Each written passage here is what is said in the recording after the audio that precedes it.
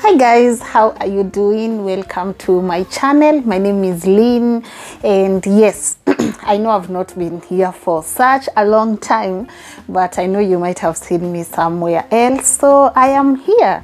And um, the reason why i am doing this video is because i asked you guys on my social media platforms uh, that's mainly facebook and instagram to ask me some of the questions you have always wanted to ask me and i promised to answer. And you guys you came in. Yeah you, you you you you went all in and you asked me so many questions. Yeah i think there were around 79 questions and they were all rather the same. And most of them were revolving around my work my love life.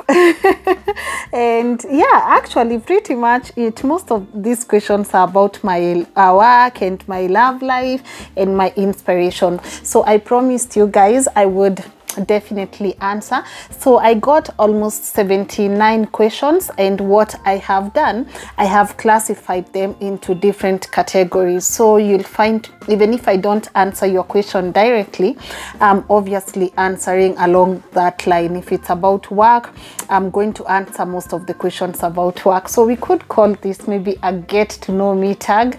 Yeah. And yeah this is a lapel right here uh, which is definitely used to enhance uh, the sound. I, I know it looks kind of weird where it is, but yeah. So the first question was uh, this actually, I'm, I'm not going to mention the names of the people who asked me because I've kind of classified this into different categories. So you'll find that one question has been asked by like five people. Yeah. And the first question is, what are you most scared about? Funny thing about this question is it's from a colleague of mine. We work together. Yeah he asked me this question and he's like what are you most scared about honestly what i am most scared about is leaving this world before i accomplish what god has put me here to do. And it scares me because sometimes i don't even think i am doing enough you know? And i am like ah is god proud of me? Like i wouldn't honestly want to leave this world without accomplishing what god has put me here to do yeah so um, over the last few months i have really been pushing myself because i feel like yo god i like i just want god to be proud of me. I know he is but i really want him to be proud of me. So yeah to my colleague at work what i am most scared about leaving this world before i get to accomplish what god has put me here to do. The second question is who is lynn where now let me tell you guys if you have ever struggled defining yourself this question will make you struggle. Like who is lynn? And i i like my first my first answer automatically would be like lynn is a journalist but no. Lynn is so many things. I don't even know if i'm going to get it right but lynn is um, this is just the definition of who i am. Lynn is um lynn is a daughter Lynn is a sister. Lynn is a lover. Lynn is a lover. Um, Lynn is just just a girl. Like I don't know. Just in, I'm not even a girl anymore.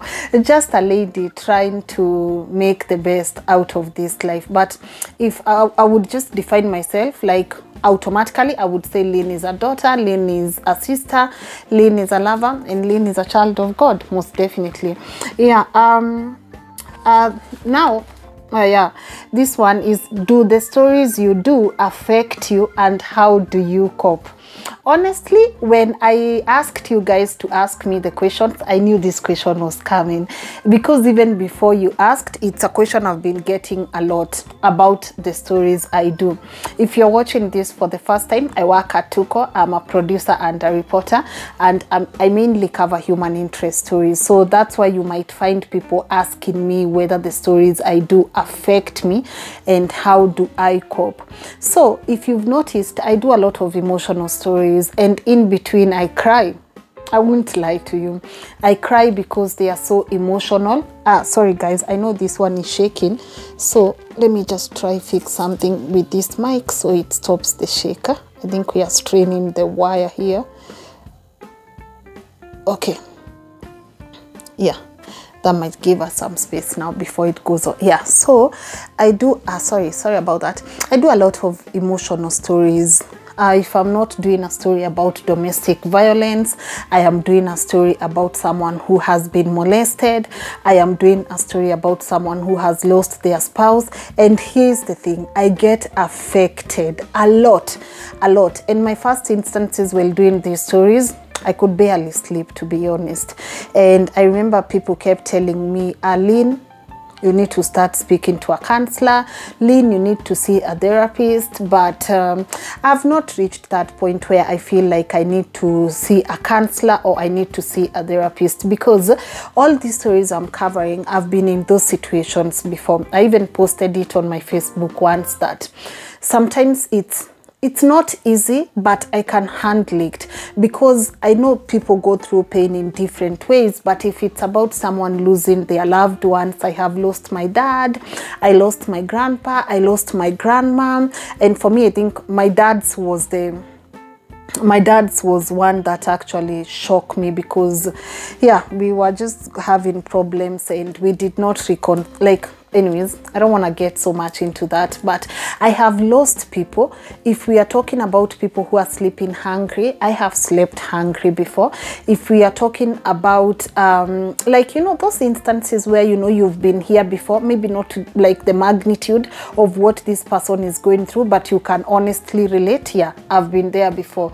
So it's easy and I tend to connect well with my guests because I have been there before, you know, and I know exactly at some point what they are feeling. And when they cry, the reason I cry, it's because I, I, I don't believe that I understand I'm a journalist and I understand that's my profession and sometimes it requires us to be a professional. But someone is not gonna cry and I'm just gonna put on some stone cold face and not feel a thing for them.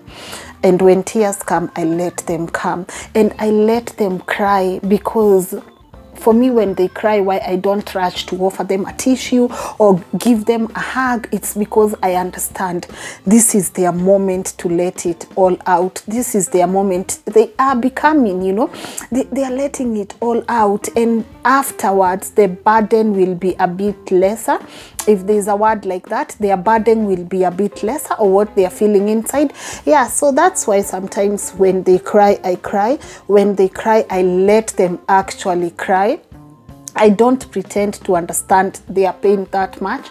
So, uh, yeah, the stories will obviously affect you, but I am also in debt. Like, I am, a lot of people trust me to tell these stories. A lot of people trust me to bring these stories to light. My audience will uh, will tag you even and be like, Lynn, can you please cover this story? Uh, Lynn, this is going on. Can you cover? So you have so many people who are trusting you to bring these stories to light.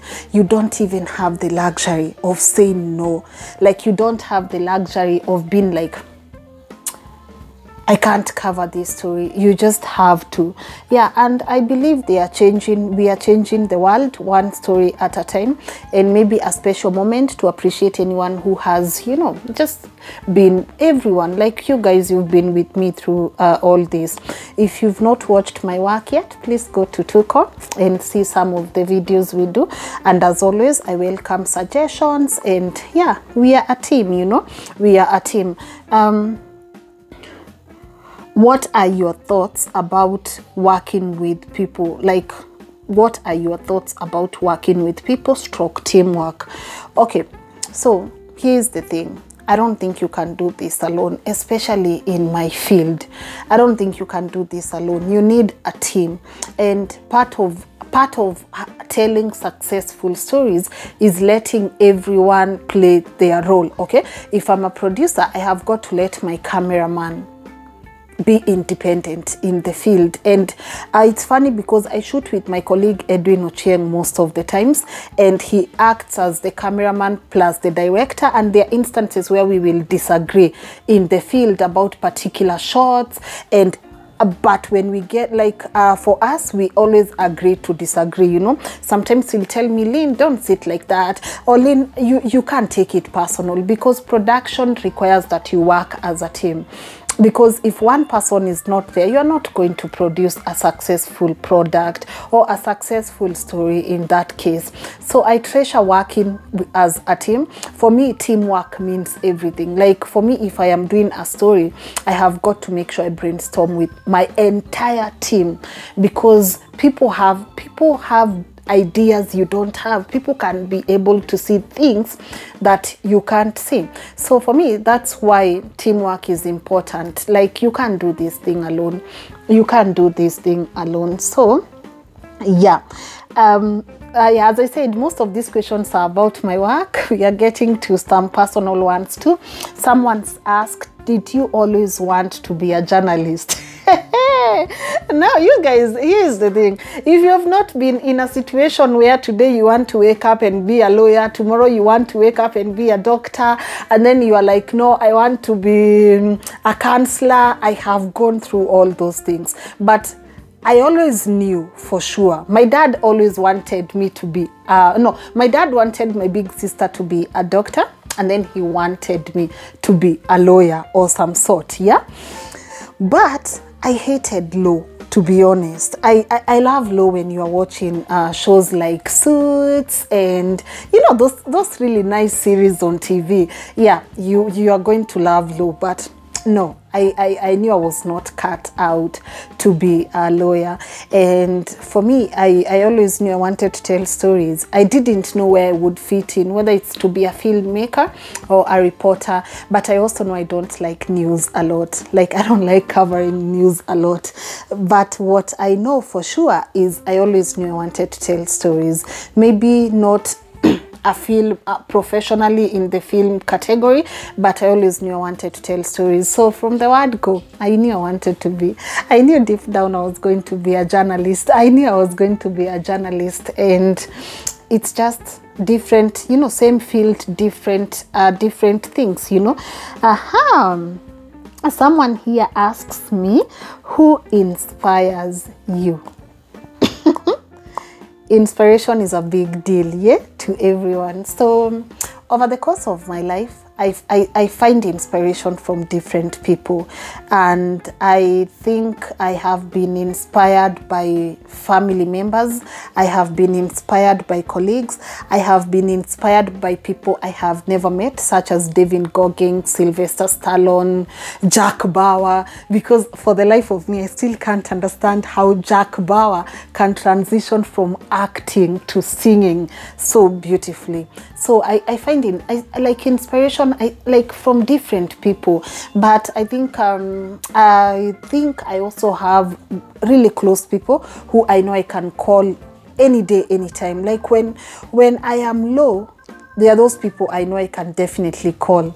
Um, probably even um, midnight and they will pick and they will listen to me talk. I have my big sister i have my mom i have gregory and uh, yeah and i also have so there's this teacher who used to love me a lot back in high school. His name is uh, mr nandoha and he has played such a huge role into the person i have become. I there are instances in life where i would just reach out to him and tell him i'm going through this and he would listen. So those are just people who are close to me that inspire me and also challenge me and encourage me. And it's important to have sometimes you don't even know where to look in this phone. Is it this side or that side? Anyways it's important to have people who you can call any day anytime and they'll be right there to listen to you. Okay.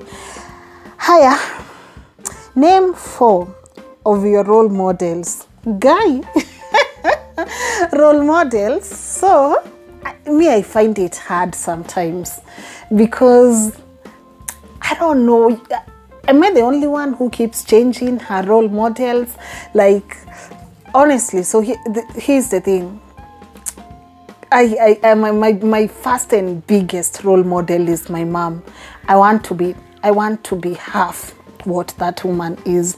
My mom is my biggest role model simply because my mom is just she's amazing guys. I'll one day make a video about her and all the things she has done and sacrificed. Ah god damn it. Yeah so we are not crying today. My mom is my biggest role model. Um, another role model that i look up to these are people i look up to okay?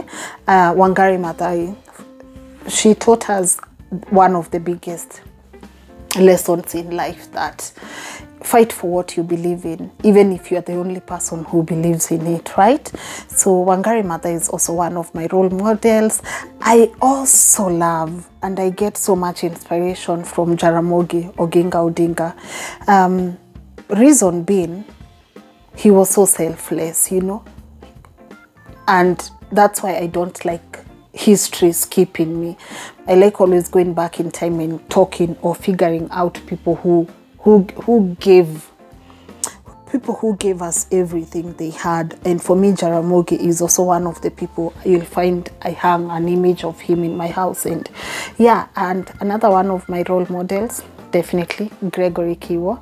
Um, I honestly think if there's anyone who believed in me when I I was losing myself and when and people lose themselves every other time. And who kept believing in what I am capable of? It's that guy Gregory. And he's also my role model because I've seen him fight for his dreams since day one. And not a single day have I seen him give up. I gave up for four years. I think I gave on my dream for four or five years but not a single day have I seen him give up on his dream.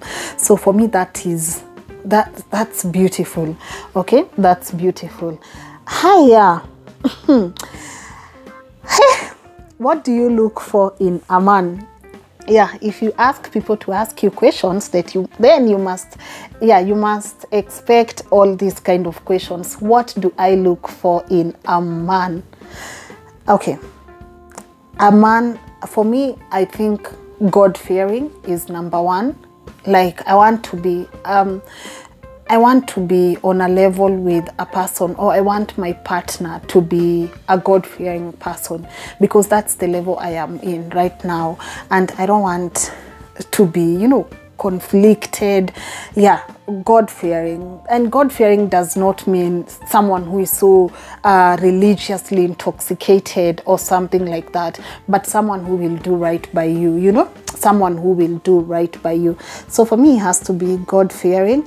Uh, um, my man has to be consistent. Okay, a man who is consistent is a turn on for me because I think it's it's just beautiful to see a man who knows what he wants and he's going after it, and a man who is also like uh, who, who is starting something and he looks forward to finishing it. So for me, consistency in a man is key, and someone who is supportive. I want you water me, I water you kind of kind of man you know? I like i'm not so dependent on some on on someone but i believe in in being supportive of your spouse. Um hmm. are you married? Stroke kids? Stroke relationship? No i am not married. I do not have kids on when it comes to relationship let's just say i am in love. Yeah we'll, that one will live right there. I am in love or let's call it a big crush on someone yeah? Okay. Uh, what's your take on forgiveness? Okay funny thing this came from someone i know and our um, I know why they asked me this question. My take on forgiveness is as simple as forgiving someone does not mean you have to be reconnected with them, but forgive as fast as you can and move on. I've said this in a previous uh, video, one that I had uploaded but deleted earlier, is that for you to be able to heal completely, regardless of what happened to you, you must learn to forgive. Like you, you have to forgive, you know. But don't confuse forgiveness with going back to the person or the situations that hurt you. You have to forgive people so you heal. Me, I wish I was one of those motivational speakers who could bring this really clearly, you know for you to heal you have to forgive people. Because if you have not forgiven people you will stay on that same place you know? And i also read a quote that says forgiveness is giving up on the fact that the past could have been any different. So it is what it is. Sometimes things don't work out but you can't live there. You have got to forgive so as to move on you know? So as to create space for new things to come in your life. So as to to grow you know so as to grow. Because if you are ever in that same place that means you are not growing. And if you're forgiving someone then that means you are if you if you have not forgiven someone then that means you are holding a grudge right? And when you're holding a grudge it occupies so much in your heart that there is no space for new things or people to come in. So forgive as fast as you can. Heal. Take your time to heal. Of course take your time to heal. But most importantly always remember forgiveness does not mean that you have to reconnect with someone. Aya a favorite actor? Kiefer Sutherland. Jack Bauer. Yes Jack Bauer. Jack Bauer is my favorite actor of all times. I am I don't know. I just I was such a huge fan of 24 I still watch it every December. I will watch all 24, but I'm reducing it because I'm watching really less TV nowadays. But I look forward to playing that series to my kids. I know it has a lot of actions involved and damn it, Chloe, and all those things, but I want my kids to see what their mom was so crazy about. Yeah. Has your heart ever been broken? Yes. Yes. My heart has been broken before but i am glad i am i yeah my heart has been broken and i also broke someone's heart before. So um, maybe serves me right? I think so. But honestly though my heart has been broken and there's nothing as bad as taking care of a broken heart. I can tell you that for free. And but then you see when they say time heals all wounds there's a reason why they say that time actually does heal all wounds. So in time you just realize the pain is slowly kicking away and you're starting to be happy and abcd yeah so yeah my heart has been broken before. But you see for me i don't regret like um oh actually yeah let, let's combine that with this question. What do you ah i don't know why i combined it but anyways uh, what do you regret most? I do not think i regret something. I don't think i regret anything in my life because all my past experiences have shaped me to be the kind of person i am today. And for me i always know now that i know better i will do better. But anything that i have done out of love out of care out of just you know from here i don't regret it it might not have turned out the way i wanted it to but it sure did shape me and th- they're just those collection of experiences that you have that kind of shape the person that you are so I don't regret, honestly. But I always tell myself if, like, for now, I really know better. So I am doing better. Each and every day, I am doing better. Uh, what's your greatest achievement of 2019? Starting from scratch, I think. I, uh, those people who are close to me know that I, I just recently came back to doing what I love, and that's just what you see me guys doing.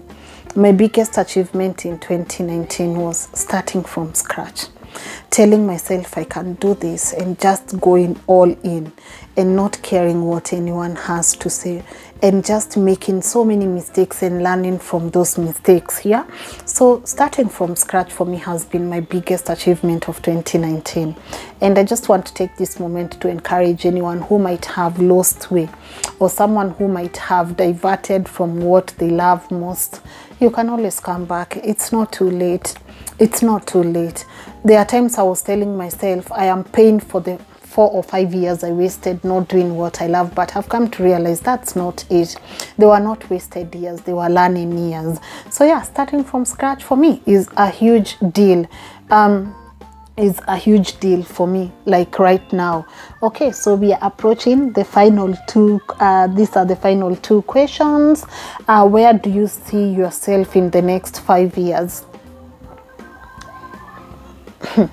I, I want to answer this question but i also like the way i want to answer it is i have learned to see myself like that particular I'm, I'm, I'm, I'm like right now i'm living in the present okay?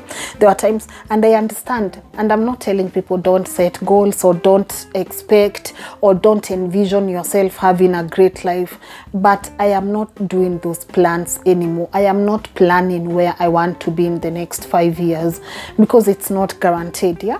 What i am doing is that every second for me right now counts because I have come to understand that could be my last, you know. So I have to go all in. If I am doing a project, I have to give it my all, okay? If I am visiting my family or speaking to my mom or chilling with my sisters or chilling with someone I love, okay? I have to be all in. I have like my mind, my soul, my heart has got to be there at that particular moment. I'm learning to be present, okay? And being present also means looking yourself in the mirror and telling yourself you are not doing the most. You are not doing the best you can. Okay? You are not giving it your all. So for me, every day. Like right now even this second when i am recording this and i am talking to you i'm giving it my all. Like i'm honestly giving it my all because i understand the next second could be totally totally different. Um, if you were to go back and change something in your life what would it be? Again nothing. Nothing. Because sometimes you do things at that particular moment because that's exactly the best way you know how to do those things yeah? And yeah so i don't want to live in the imagination i can go back to my life. I can't go back. Like i can't go back to 2013 2012 2011 i can't go back yeah? But what i can do is not make the mistakes i made those times. Like i can't repeat those mistakes like right now. Yeah? I can't yeah. What book are you currently reading? Okay. So uh, for this month in december i am reading uh, you can't hurt me by david goggins david goggins is a huge deal to me especially because i want to i i've learned so much from him in the course of the year and every year i always choose who will motivate me. So i look at their journey and i see how they were able to accomplish and i try to emulate them. Not like copy or something but i try to do the things that they have they are doing so like 2019 it was sylvester stallone meaning you have to start from scratch sometimes. And 2020 we are going to get motivated by david goggins because for me 2020 is all about mindset. It's all about going back to the gym again which i'm already doing. But um yeah so i'm reading you can't hurt me by david goggins. It's an amazing book. I would urge all of you guys to check it out. And i am not sure if i have answered all those questions but as you can see i had to compile them to like yeah i couldn't honestly answer 79 questions. They were all similar. So that's pretty much about me. Yeah I thought I would do this because, you know, when you have a fan base, sometimes just open up to them a bit and let them know something about you. And once again, to wish you guys an amazing 2020. I know we are not there, but I'm so excited because I see a lot of good things happening in 2020. And for anyone who is going through something and you feel like you might want to talk to me, then on my Facebook, leave me, yeah, DM me, and yeah, if you want us to have a conversation about anything, I am pretty much open to having it. So I hope I've answered all your questions. Yeah, let's have an amazing year. I'll try and put as many videos here on my personal space as possible. But yeah, let me know let me let me know like oh god. Let me let me know what anyways i hope you guys you found this helpful and i hope i answered all your questions. Till next time bye bye and have a blessed 2020